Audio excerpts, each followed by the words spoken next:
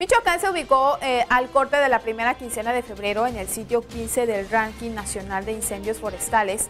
De acuerdo con el reporte de semana de incendios forestales, el, parte de la Comisión Nacional Forestal refirió que por superficie boscosa afectada por el fuego, Michoacán se colocó en el sitio 13 a escala nacional entre el 1 de enero y el 14 de febrero. La entidad registró un total de 20 incendios forestales, así como 49.73 hectáreas dañadas por estos siniestros. De este total, 41.67 hectáreas corresponden al estrato herbáceo, 7.56 hectáreas al estrato arbustivo y 0.50 hectáreas al arbolado adulto, sin perjuicios en arbolado de renombre.